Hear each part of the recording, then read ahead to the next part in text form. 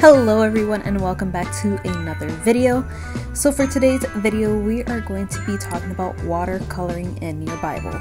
So I wanted to pull out some of my Bibles so I can show you what I've done in them. So this one is my KJV journaling Bible and here I have just a simple watercolor on the side that I figured I would show you guys because it's something simple you can do. I did it for Psalm 1 based on the first two verses and I just wrote out a little bit and then did a very simple watercolor flower.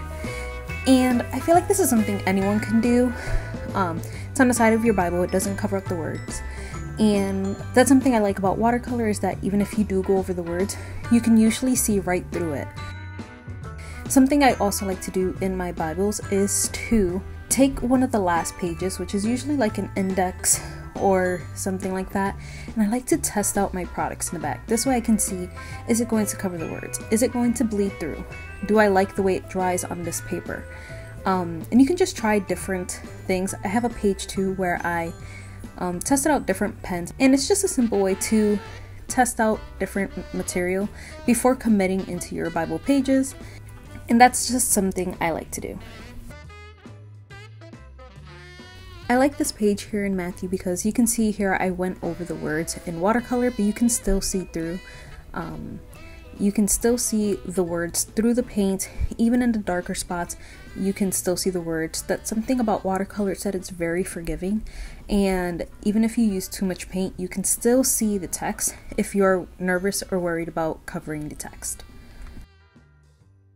Now, this is my ESV study Bible, and in this Bible, it's not a journaling Bible, but I have been really enjoying just throwing my journaling notes, um, artwork into this Bible.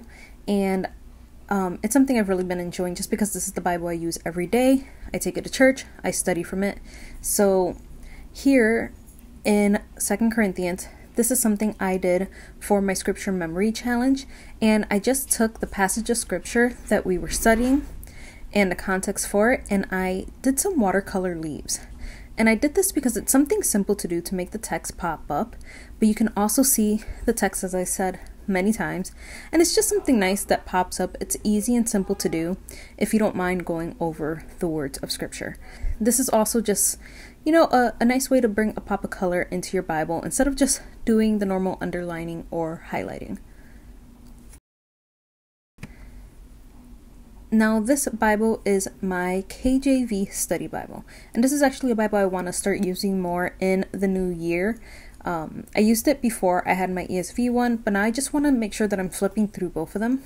So, in this Bible specifically, I'm going to show you guys some some uh, a different type of watercolor technique. It's basically like a reverse highlighting. So, I'm going to watercolor the entire page um, on both pages, except for the passage of scripture that I uh, am trying to highlight.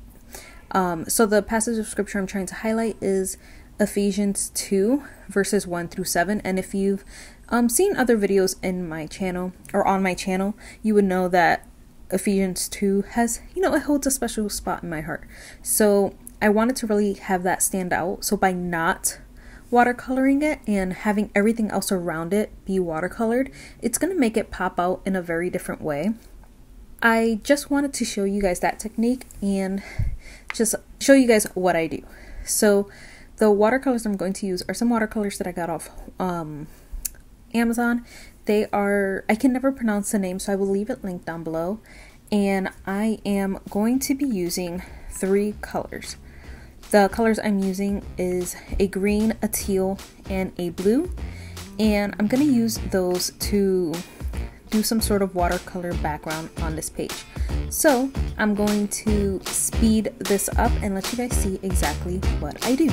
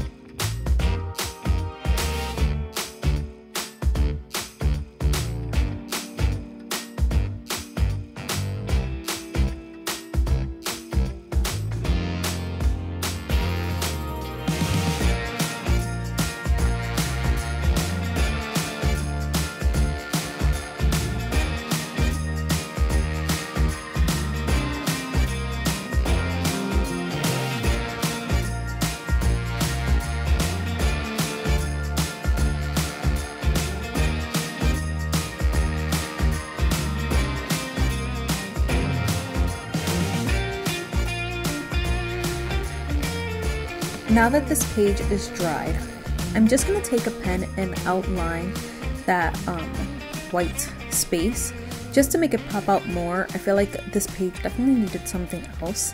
But as you can see, the white box stands out on its own because it's the only part of the page that is not um, colored. And it's just a different way of highlighting, basically a reverse highlight. And you can still see all the words on the page. For this next watercoloring, that I'm going to do. I'm going to be in my ESV Bible and I'm going to just do some watercolored leaves on Psalm 34. If you watched my Psalm journey video, you would know that Psalm 34 is one of the first Psalms that we have gone through and I'm going to use some watercolors from Iulie Watercolors from Etsy and these are just some very beautiful watercolors. If you saw my journaling supplies haul, you would have seen these watercolors and they are beautiful.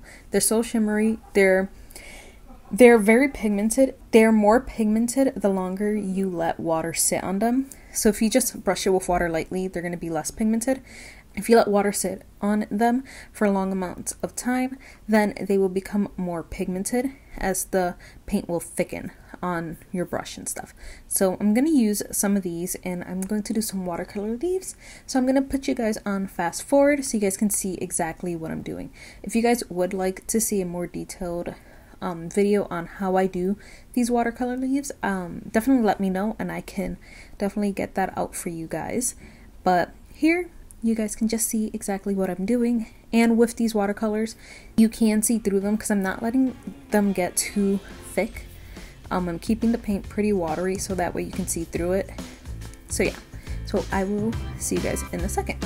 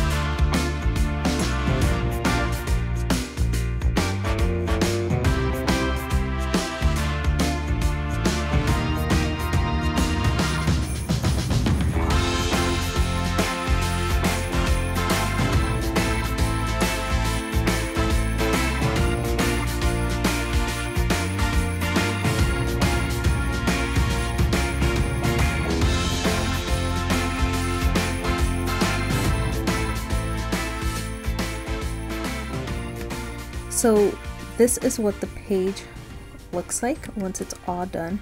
As you can see, these paints are super shimmery.